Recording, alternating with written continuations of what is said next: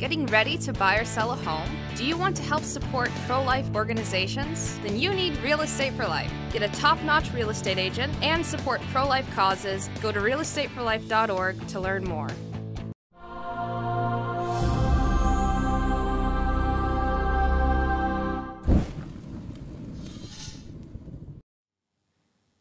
In nomine Patris et Filii Spiritus Sancti. Amen. The devil, the devil is not something, the devil is someone. Some people, even in the church, would like to explain away the mystery of the devil, saying, he's just a phenomenon. He's just a projection from your mind. is just an effect of perhaps scrupulosity or a sort of a vibration somewhere. They are wrong. The devil is a person He's not a thing. The devil is a spirit, so he doesn't have a body, even though he may be represented on some pictures with a body, even though he may take the shape of a body to frighten God's children. He is a spirit. He is a spirit, but a created spirit.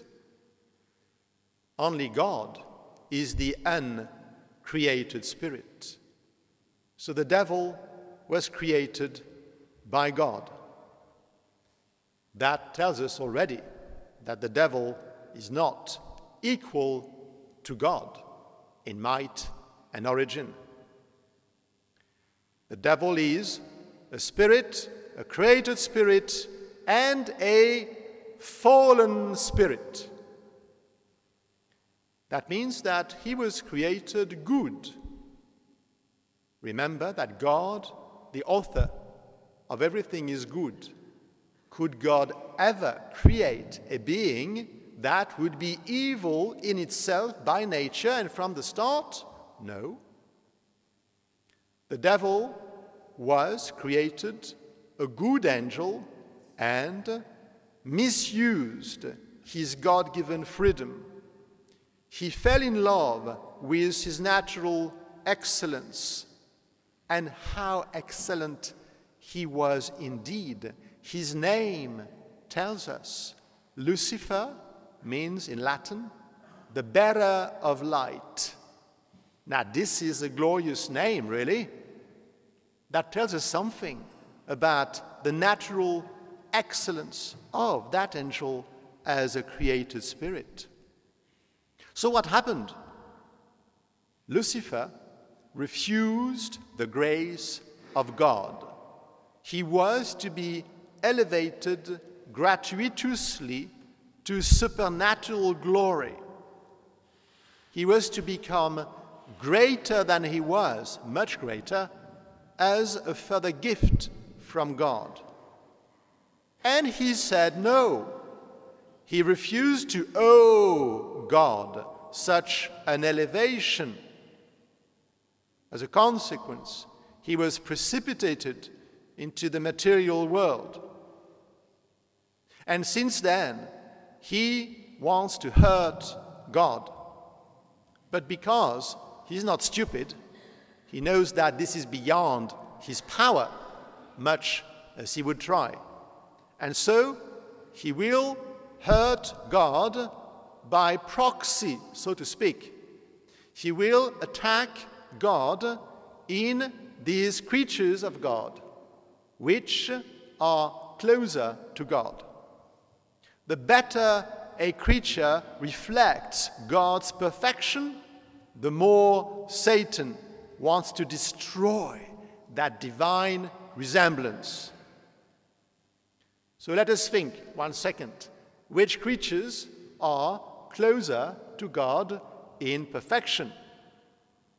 If you have pets at home, little cat, you may like the cat very much, but it is quite remote from God on the scale of beings. If, uh, with the spring closer to us, think of your rose bushes, it's very good and gives a lot of joy. But it is still quite remote from God in perfection.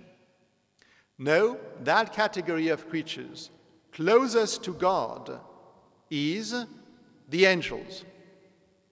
And so Lucifer tried to seduce his fellow angels. And unfortunately, he succeeded to some extent. There was a great battle in heaven, Lucifer fighting against God and his angels, and thankfully, St. Michael, the archangel, fought on behalf of God with all the good angels. The name St. Michael also tells us a lot about the motivations and loyalty of that particular angel. Michael translates quis ut Deus, who is alike to God. So the very name of that angel, the champion of the rights of God, is a challenge to the arrogance of Lucifer. The name Michael could be translated in a colloquial way as Who do you think you are, you Lucifer? No one is allied to God. And thankfully, St. Michael won the battle. Since then, of course, many angels, having followed Lucifer, became with him demons and populate the material world. What next category of creatures is on the hit list of the devil to offend God by proxy? After the angels, it's not the animals, it's not the vegetables, it's not the minerals. I'm sure you've guessed that it is us, it is the human beings, because in us, rational creatures, there is a resemblance of God our Maker, which makes us, under that respect, alike to the angels. We are spirits like they are, even though we are embodied ones. And this is why, dear friends, it is so important that we should learn about the devil and be aware of his activity. We must keep away from the devil. We must not even start a conversation with him. That proved fatal to our mother Eve in the Garden of Eden. She answered him. She engaged into conversation with the devil. How imprudent! Even though he is fallen, he retains his angelic nature, and therefore he is much more intelligent than we are, than the most intelligent human being. His intellect is intuitive, he can see immediately the consequences, he circumvenes us. So, no dialogue, no conversation of any kind with the devil. The devil is like a mad dog on a chain. He's harmless as long as we don't come within his reach. Yes, the devil will sometimes tempt us by divine permission. It is not that God wants it, God doesn't order that. God allows it for a greater good. And what is the greater good? It is to allow us to grow in virtue, coming closer to God, and manifesting the power of divine grace, even through our weaknesses. And this is what we see in the gospel of today. Our Lord is God, but also man. As man, he is tempted three times in the desert. Now, there's something very important here for us to remember. To be tempted in itself is not a sin. Otherwise, Jesus would have sinned three times in the desert being tempted? No. No, no, no. The sin is when we are tempted to give in. But that's only a second stage. Stage one is, oh, I am tempted. So far, there is no sin. What is expected of us is simply to imitate our blessed Lord. Remember, we do not start a conversation with the devil. Our Lord simply quotes the words of God. He refers to God. He takes God as his shield, as his protection. And that is certainly what we should do whenever we are tempted. Remember that the devil cannot read inside your soul, and he cannot either compel our will. This is, of course, unless we invite him in, which we should never do. And that is also why, in passing, we should never, ever dabble into the occult, put one finger into these dark schemes, even for fun, even out of curiosity. No, no, no, not a finger. We are not involved in that because if we do, we open the door, however slightly, to his influence.